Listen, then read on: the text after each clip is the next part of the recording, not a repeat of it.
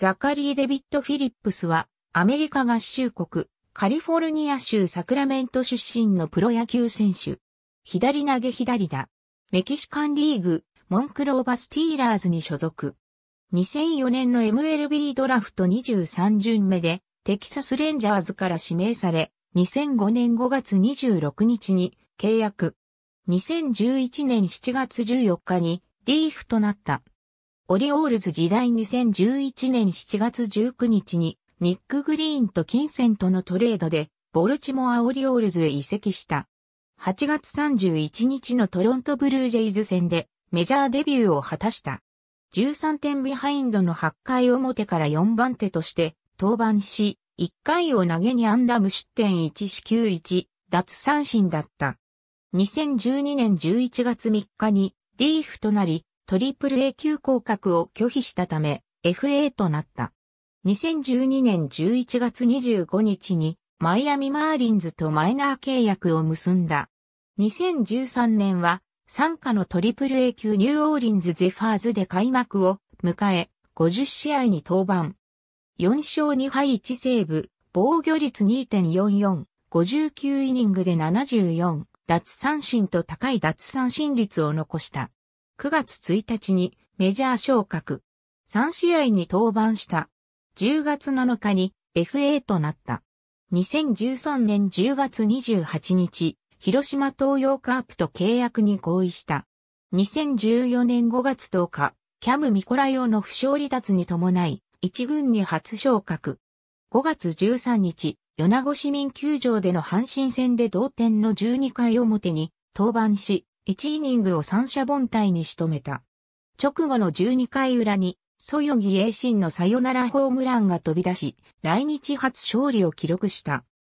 その後も大崩れすることはなかったが、この年の広島はフィリップス以外に、ミコライオ、ブライアン・バリントン、キラ・カアイフエ、ブラッド・エルドレッド、ライネル・ロサリオ、デュアンテ・ヒースと外国籍選手が7人も所属し、しかも、それぞれが一軍で結果を残すという熾烈な状況であり、外国人枠の兼ね合いからフィリップスに一軍登板のチャンスはほとんど与えられなかった。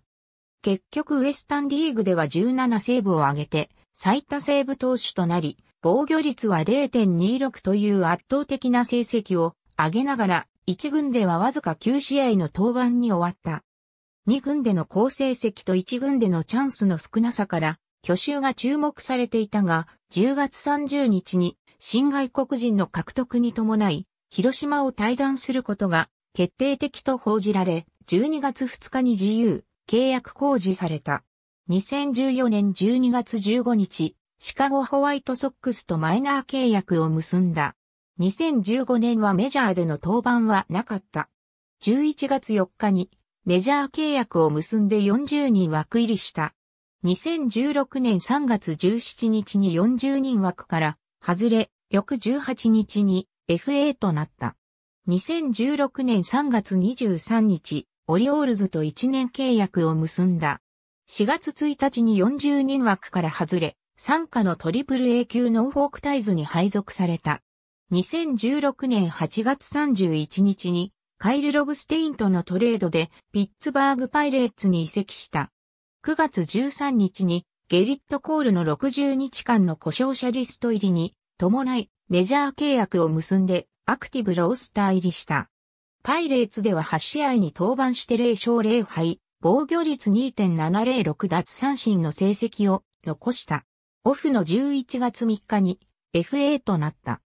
2016年11月18日にセントルイスカージナルスとマイナー契約を結び、2017年のスプリングトレーニングに招待選手として参加することになった。2017年6月24日、モンクローバスティーラーズと契約した。最速時速 155km の速球に加えて、カーブやスライダー、チェンジアップを投げ分ける。人気俳優、キアヌ・リーブスを思わせる、かなりのイケメンである。ニックネームは、フィリーか、ザックの Z。元巨人のジョナサン・アルバラデホから背中を押され、日本行きを決意した。野球に対する姿勢は非常に真面目である。米球界では最速155キロの直球を武器に、中継ぎの役割を担った。広島は先発、リリーフともに左腕が手薄。そのチーム事情を理解している。自分では中継ぎが効果的だと思うが、求められたところで準備したいと話している。広島入団が決まると、同僚となるブラッド・エルドレッドの連絡先を入手して、日本球界の情報を得た。違いはないよ。野球は野球だ。ファンが盛り上がると、やってやろうという気持ちになる。どんどん盛り上げてほしいと語っている。広島時代の同僚のキャム・ミコライオやエルドレッドに負けない特徴的な髭を蓄えている。ありがとうございます。